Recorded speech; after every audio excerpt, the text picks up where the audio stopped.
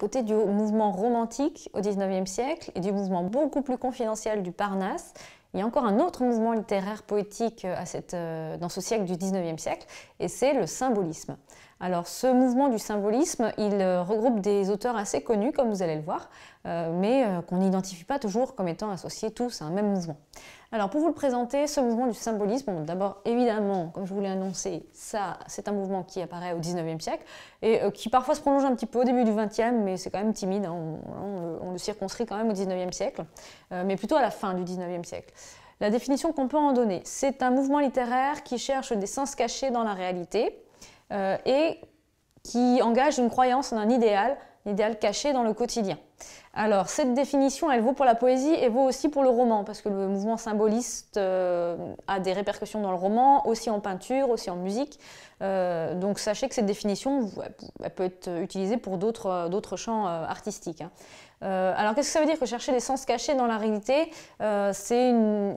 Alors il y a cette idée que euh, les, choses du quotidien ne sont que la surface, que le reflet de, de réalités plus profondes. Alors souvent on a une croyance dans le, le paranormal, euh, euh, avec des, sciences occultes, tout ce qui est divination, magie, sorcellerie, etc., euh, superstition. tout ça est lié à ce mouvement symboliste.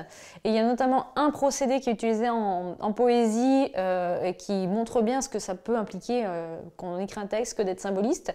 C'est le recours à la synesthésie. Vous avez peut-être déjà rencontré ce terme, ce qui veut dire, ce qui signifie la convergence des différents sens, dans le sens des cinq sens, le goût, le toucher, l'odorat, la vue et l'ouïe. Donc quand dans un poème vous avez euh, plusieurs éléments euh, qui sont convoqués, donc de goût, de toucher, etc., pour euh, décrire une même réalité, vous êtes face à une synesthésie et vous êtes vraisemblablement dans un poème symboliste. C'est par exemple le cas pour le poème Voyelle de Rimbaud, euh, où à chaque lettre est associée une couleur. Et ensuite, va y aussi avoir des notions euh, bah, d'odeur, euh, de, texture, d'image. Donc là, on est dans la couleur aussi, de son et éventuellement même de goût à certains endroits.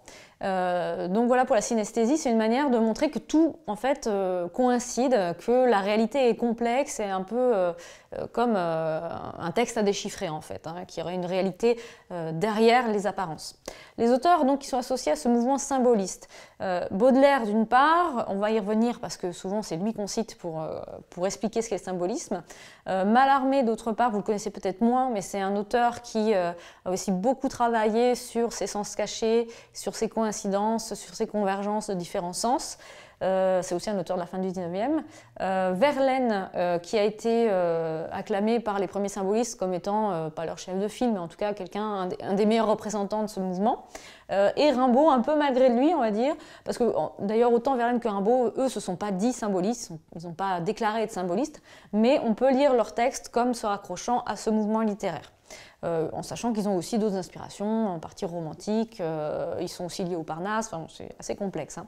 Euh, les œuvres les plus connues de ces auteurs, Baudelaire, vous savez, c'est Les Fleurs du Mal, Mallarmé, bon, le recueil s'appelle simplement Poésie, sinon il a écrit un texte qui s'appelle Jamais un coup de dé n'abolira le hasard, et qui brode un peu ce thème du, symbolisme.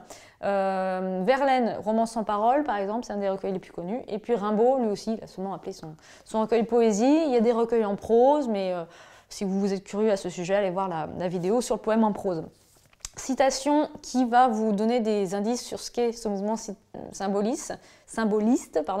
Euh, les parfums, les couleurs et les sons se répondent. C'est un vers euh, du poème Correspondance de Baudelaire.